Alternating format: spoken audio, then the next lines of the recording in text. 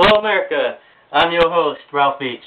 Welcome to America's newest and hottest new reality show, The Million Dollar Angler, where anglers across America send in their videos to have our celebrity judges, our live audience, and you, America at home, decide who will be America's Million Dollar Angler. Without further ado, let's meet our celebrity judges. First, we have Johnny Campbell of Fish It, makers of the strongest fishing line on the market today. We have with us Sarah Jones of Boats International, makers of the finest John boats.